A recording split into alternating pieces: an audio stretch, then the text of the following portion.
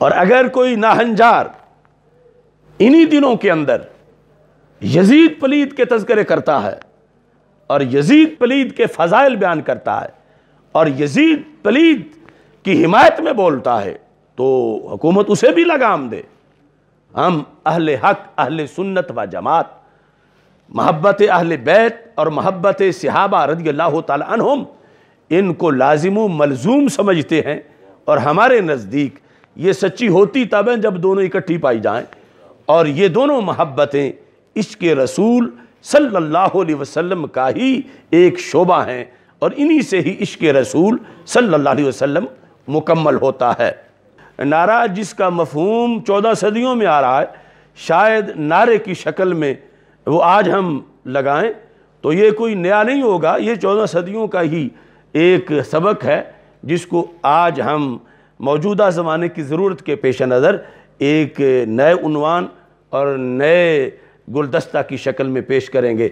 नारा तकबीर अल्लाह अकबर। अल्लाह अकबर। अल्लाह अकबर। नाराय रिसालत नाराय रिसालत नाराय रिसालत ताजदार खत्म नबूवत। ताजदार खत्म मासूमियत। ताजदार खत्म मासूमियत।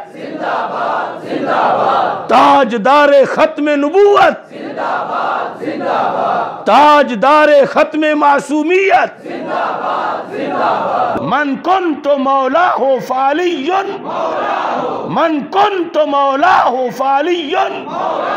मन कुन तो मौला हो फालियन। लब्बैक लब्बैक लब्बैक या रसूल अल्लाह